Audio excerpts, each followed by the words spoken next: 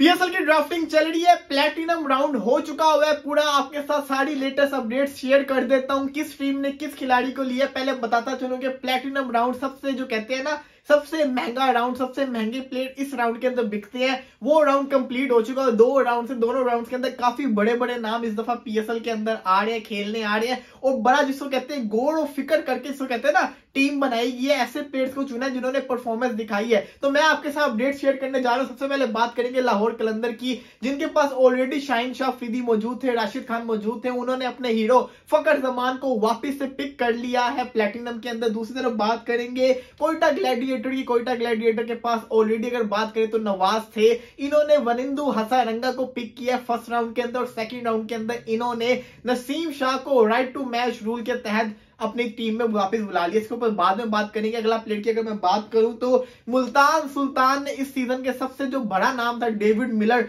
David Miller को pick कर लिया इनके पास ऑलरेडी अगर मैं बात करूँ मोहम्मद रिजवान प्लेटिनम के अंदर है, लेकिन इनके पास अगर मैं बात करूँ डायमंड की तो डायमंड के अंदर Rilee Rossouw Tim David already इनके पास मौजूद है। तो डेविड मिलर एक बहुत बड़ा नाम इनकी टीम के पास आ गया एक ज़बरदस्त किस्म का प्लेयर है इन्होंने पहले नसीम शाह को पिक किया था, लेकिन क्योंकि राइट टू मैच रूल ये होता है कि अगर आपकी कोई कोई टीम किसी प्लेयर को पिक करती है, उस टीम में वो पहले खेला होता है दूसरी टीम में तो दूसरी टीम के पास ये चांस होता है कि वो राइट टू मैच रूल करके अपने प्लेयर को वापस ले सकती है। तो नसीम शाह ऑलरेडी कोयटा ग्लैडिएटर से खेलता रहा है तो उन्होंने इसलिए अपने प्लेयर को वापस ले लिया मुल्तान सुल्तान से। तो इस वजह से मुल्तान सुल्तान ने फिर दोबारा से पिक किया, उसमें उन्होंने डेविड मिलर को सिलेक्ट किया।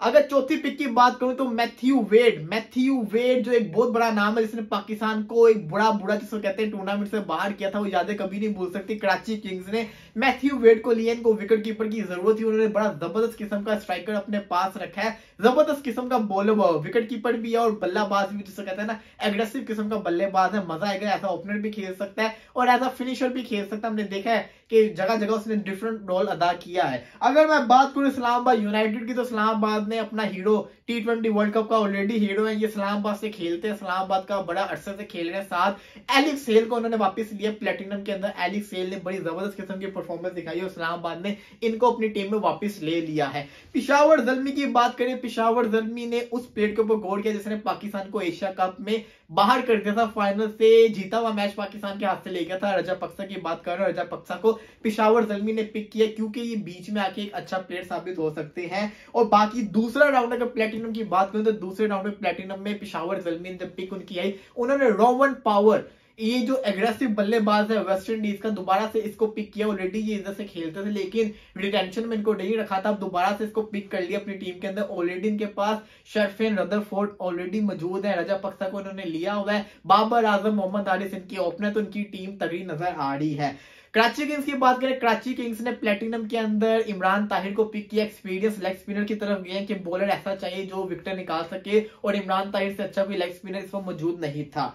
क्या कहते हैं, मुल्तान सुल्तान की बात करें, मुल्तान सुल्तान ने जोश लिटर को लिया प्लेटिनम के अंदर। आयरलैंड के ये प्लेयर है, उनका रिकॉर्ड बड़ा ज़बरदस्त अगर मैं बात करूँ इस बंदे की तो इस ये बॉलिंग के लिहाज से देखा जाए तो 16.6 का इनका स्ट्राइक रेट है। अच्छी किस्म की बॉलिंग करते सेकंड राउंड के अंदर ऑलरेडी नसीम शाह को उन्होंने पिक कर लिया था। कोयटा ने पहले ही और इस्लामाबाद की बात करें तो उन्होंने रहमान उल्ला गुरबाज, जो कि अफ़गानिस्तान के तेज खेलने वाले, उनको पिक किया, क्योंकि ये ऑलरेडी इस्लामाबाद से खेलते तो इस्लामाबाद ने अपनी टीम को वापस से बैकबोन दोबारा से जो कहते हैं ना बैक अपनी टीम को कर लिया और ज़बरदस्त किस्म की टीम बना दी है। तो ये थी प्लेटिनम स्पिक मैंने आपके साथ शेयर कर दी है। बड़े नाम देखने को मिले, लेकिन स्ट्रेन जो सबसे बड़े जो नाम थे एरन फिंच हो गए मोइन वाली हो गए आदिल रशीद हो गए डेविड मलान हो गए, और भी बड़े सारे player Odean Smith van der Dussen बड़े ज़्यादा प्लेयर जो है, वो नहीं हुए सोल्ड आउट ये हो गई हैं तो इसका मतलब है कि टीम्स ने होमवर्क किया हुआ इसके ऊपर पूरा फोकस रख के सिलेक्शन की है।